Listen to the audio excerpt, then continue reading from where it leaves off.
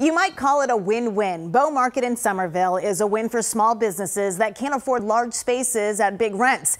And it's a win for shoppers who want to find a whole lot of unique products in one place.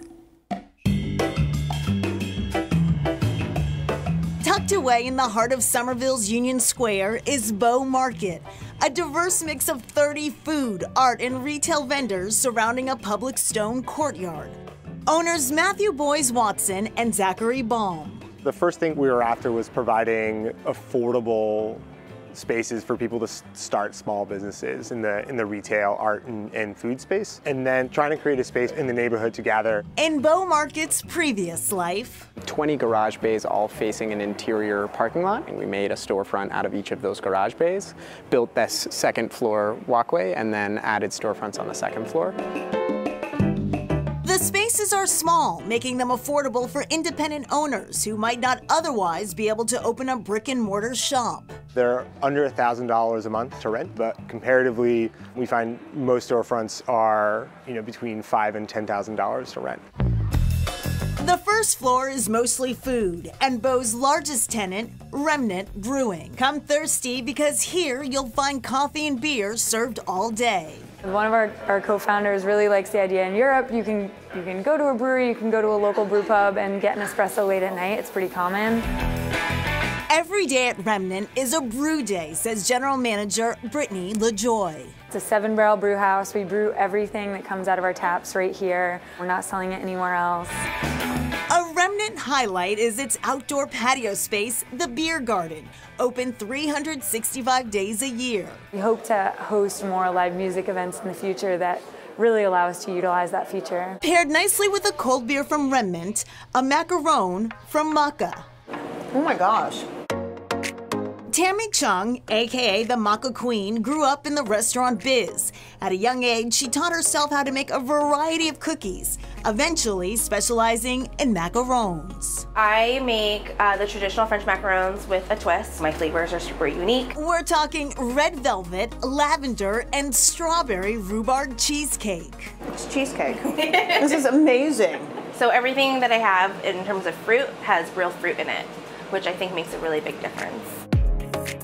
Maca had been an impossible dream. Storefronts in the area just so expensive.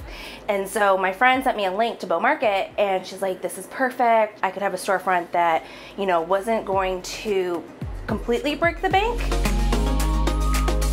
Bow Market's second floor houses artists and other vendors. Peston is the brainchild of Cassandra Coco and Elix Ferguson. Peston is a lifestyle brand that came out of Cassandra and I deciding that design was what we wanted to do with our lives. Prior, I actually worked in pharmaceuticals. And I was teaching children with autism. Both were designing on the side, and after a few successful collaborations, they decided art was their future, and Peston was born. So I do all of the graphic design work and most of the jewelry work, not the earrings. Uh, she does that stuff. Stuff like these cool zipper earrings. I love how simple, how they're used for utility in everyday life, but I think it's cool that they could be made into like jewelry. Down the row is 9,000 Things. 9,000 Things is a collection of things that I make and things that I design and have local US manufacturers make. And they're all very colorful.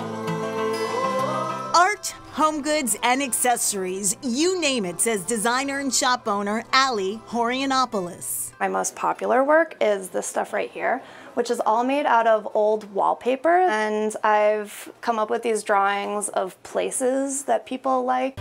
I have some. An image of Martha's Vineyard tops my list. Ali creates and designs right in her shop. I think the more white, yeah, the white on white on yellow is really pretty. Um, let's do it. Okay. Ali says she's thrilled to be a part of Bow Market and believes this was the perfect place for it. It's been amazing. Yeah, Somerville is so ready for this kind of thing. I think the novelty of like these tiny little spaces that are all like super unique, there's been a lot of enthusiasm. More and more vendors will begin to open in the coming weeks and months, including the Comedy Studio, which has been in Harvard Square for 21 years. It's moving to Bow Market with a lot of enthusiasm behind it. A soft opening is expected later this summer with a grand opening in the fall. Next, sturdy clothes for working people. They want stuff that looks cool. They want stuff that performs well, that lasts longer.